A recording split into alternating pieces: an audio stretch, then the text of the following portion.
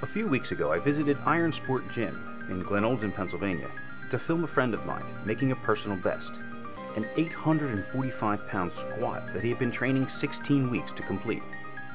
His name is Jeff Fiss. Jeff's a strong guy, and he routinely posts his lifts on YouTube. Unfortunately, they usually look like this. I told Jeff that the next time he was going for a big lift to give me a call, and I would tape it for him.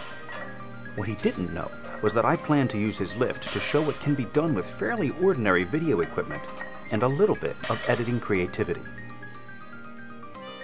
Here's the setup. I had one camera with a wide-angle lens on a tripod directly in front of the squat racks. A small studio light to add a little warmth.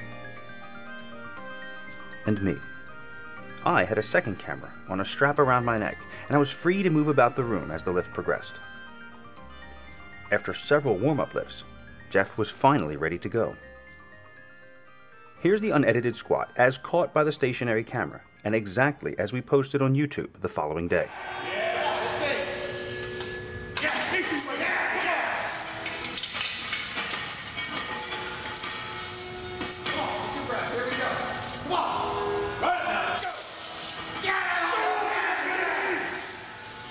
It's an impressive lift and well executed.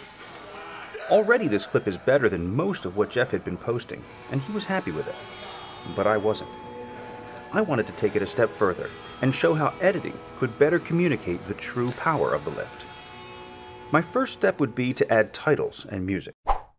Most YouTubers have the technical capability to do that.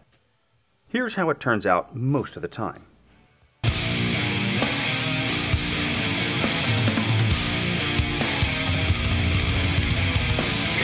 Unnecessarily long titles, cheesy transitions, and overly enthusiastic music that has no relation to what is going on in the clip. Most beginners think that a long intro like this builds suspense, but I don't think so. Jeff is too far away for me to be able to see his expressions clearly. This is just making me impatient. Here we are, over 34 seconds into the clip, and still nothing much has happened. That's way too long to wait, especially with YouTube attention spans being what they are. The clip is also a little too dark and has a strange color cast. That's enough. You get the idea. A better way would be to put the relevant information in the title of the YouTube clip. That way we already know what we're watching when we click on it, and you don't have to hit us over the head with it again. If you must include titles, at least use lower third titles so that we don't have to wait and can get right into the clip. The next thing I would do to make it better is to try to make the music follow the action. In other words, the more intense the video image is, the more intense the music should be. In this case, if we were to use that same piece of music, I would be sure to align the most intense part of it, where the singer screams, over the most difficult part of the lift.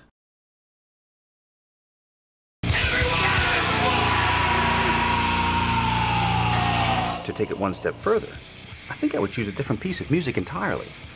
I want something that has more of a build-up to the lift, to heighten the tension and the suspense. Here's a good one I have in my library, Won't Back Down by Fuel. I like this one because it has a mysterious grumbly intro.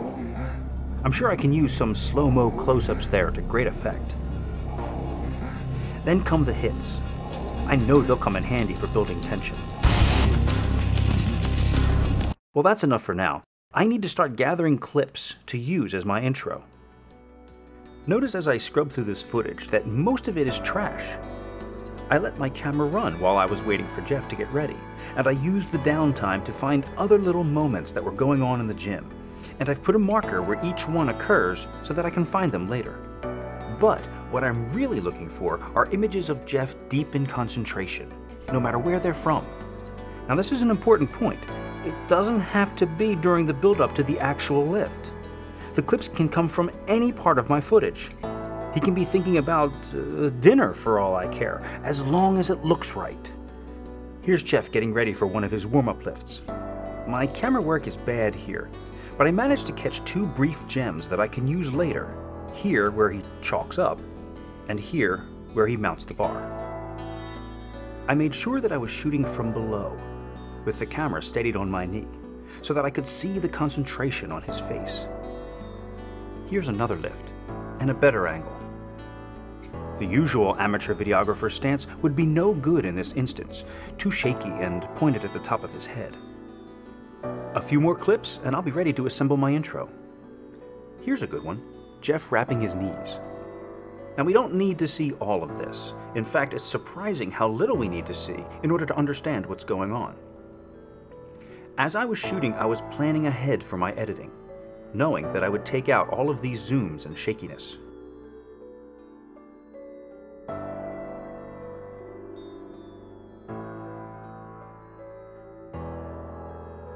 Once I've removed all the excess, I end up with three clips. Now I need to make sure that they flow together so that you don't notice the cuts. I do that by matching action. I try to find the same spot in Jeff's wrapping action and match the two clips together at that point. The edit will feel seamless when I get this just right. It often comes down to a matter of a few frames at the end of one clip or at the beginning of the other. There. Now it looks like his action is continuous, and the cut won't be jarring to the eye. I've gone through the rest of my footage and found a few more clips that I think might be useful in this intro, and I've thrown them all together here in an unused space in the timeline. I have spectators, plates and chains being loaded, the bar fully loaded, and a few more clips of Jeff psyching up. During this entire intro section, we are going to be compressing time taking what actually took many minutes to transpire and fitting it into a few seconds to set the stage for what is to come. Here's how I used all of those clips, and maybe a few more, to create my intro.